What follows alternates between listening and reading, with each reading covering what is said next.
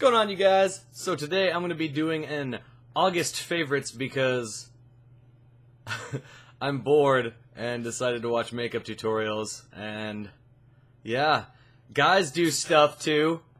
So I'm going to show off some of my August favorites. And it has nothing to do with me putting up filler videos until G gets his ass back into the recording studio. G.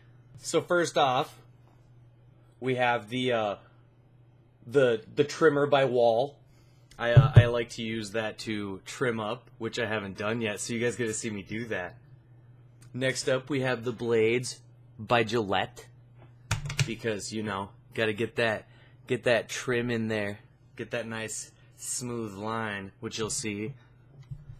Next off, we got pomade by Design Line because naturally, all of this hair needs to go places. And so it stays, I like to, to to use freeze spray by the same brand. And also one of my my my August favorites is uh sugar free rockstar. Yeah.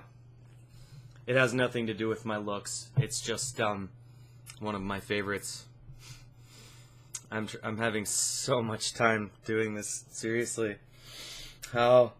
All right. So first things first, got to get the trimmer out. Gonna try and fade this in with my new haircut here. Fade it down, and uh, probably cut off like three inches.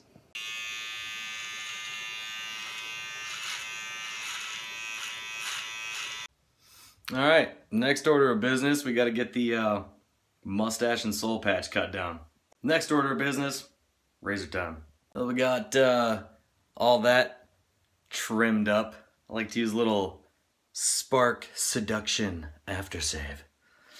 And then we'll get onto the hair. Now for this length of hair, I like to use just a smidge of water and then some of my pomade.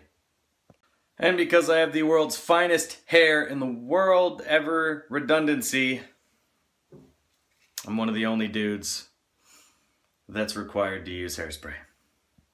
And there you have it, folks. That's the uh, the getting ready tutorial and the August favorites.